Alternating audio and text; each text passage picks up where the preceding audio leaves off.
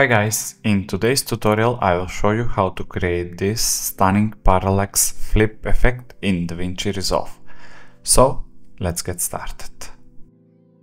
First thing that we need to do, navigate to the gear icon and let's change our timeline settings to 3840 by 3840. Now let's put our footage one on top of each other.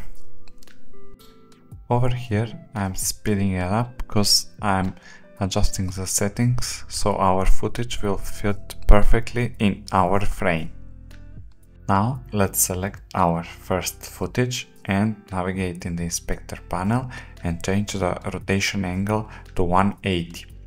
Next thing that you want to do is scroll down to crop and change the softness to minus 50. Let's increase the zoom until our skies match together and they blend. Let's select both of the clips together and right click, make new compound clip. You can rename it, it's up to your like and just press create. Now open the effects panel and type transform.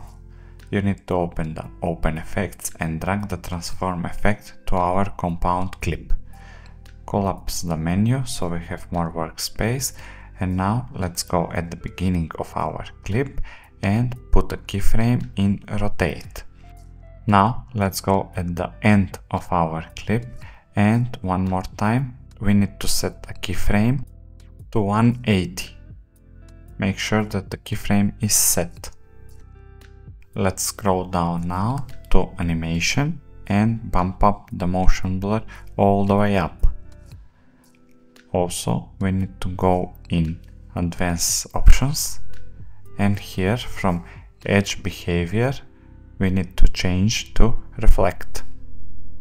And that's how easy it is to create this parallax effect. So let's review it now.